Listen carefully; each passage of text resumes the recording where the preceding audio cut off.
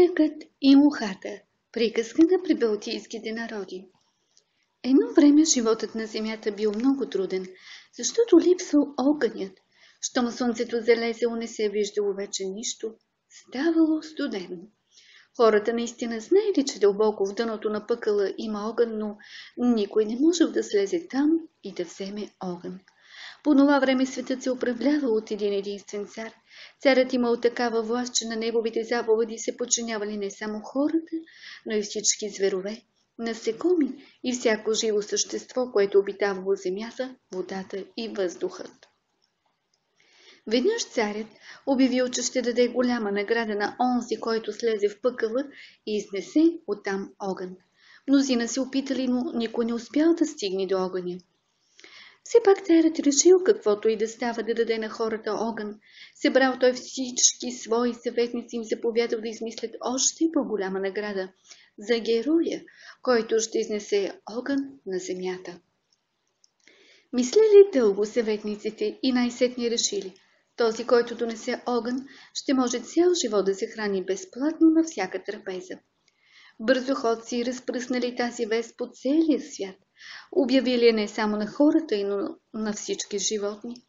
Много герои се впускали в опасния път, но никой не успял да изнесе огън от страшната бездна. Чул царската вест баякът и решил да донесе огън. Той веднага се заловил да плете дълго въжета, да се спусне по него в пъкъла, когато въжето станало готово. Паякът се отправил към ада, без да каже дума на никого. Щом стигнал до пропаста, която водила към глъбините на пъкъла, храбрецът завързал край на въжето за здравия корен на един дъб и се спуснал и се спуснал чак до дъното на пъкъла, промъкнал се до огнената клада, гръбнал една гореща главня, полетял като вихър обратно към въжето и благополучно се измъкнал навън. Макар че умел, че връст от делати, все пак паякът много се изморил, докато се изкачил такава дълбочина и при това с товар. Когато стъпил на земята, той полегнал малко да си отдъхне, а горящата главня служил до себе си. Паякът искал само малко да подремне, но сънят го оборил и той е заспал дълбоко. Дошло време да изкарват на паша добитък, а паякът продължавал да спи. В това време мухата, която летяла насам нататък, недалеч от него подушила някаква странна миризма. Огледала се наоколо изведнъж, що да види, край паяка гори запалена главня. Досетила си мухата, че паякът изнесъл огъня от пъкъла. И какво мислите, че направила? Отде ще знае такъв сънливец как да борави с огън. Ще спи докато главнята угасне, а на мене наградата ще ми свърши повече работа, отколкото на него, помислила си тя. И като гръбнала бързо главнята, мухата отлетяла. Замисъл гъвнята двореца и казала на царя. Ето ти, господари огън, с опасност за живота си го изнесъл от самия пъкъл. Дай ми обещаната награда. Царят се зарадвал много.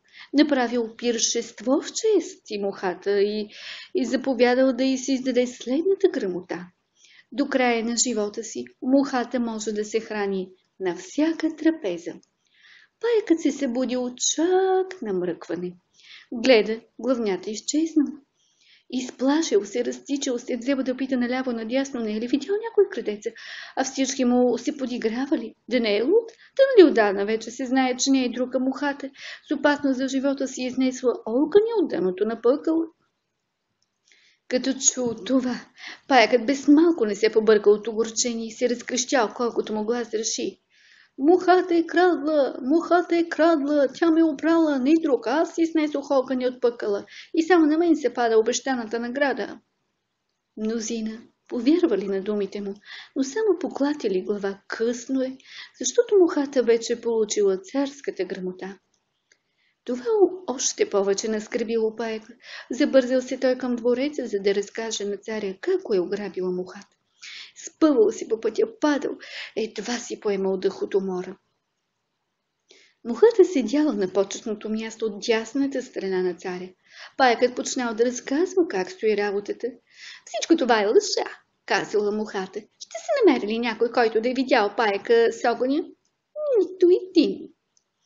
Царят пожелал да разреши справедливо спора и поиска от паяка да представи доказателства, но не успели да докажа нищо, не се мярка повече пред очите му. Тогава паякът казал, че въжето, по което се е изпуснал и по което се изкачил горе с главнята, навярно и до сега виси на края на пропаста. Пратеници на царя се завтекли да проверят, но не намерили никакво въже. Сигурно то се било запалило от главнята, когато паякът се измъква от тата и изгоряло. Сега вече не можело да се докаже нищо. И паякът си отишъл с прасни ръце, като проклинал мухата и се кълнял, че ще й отмъщава през целия си живот. От тогава паяците плетат паяжи и не ловят мухите, а мухите и до ден днешен се хранят на всяка трапеза безплатно.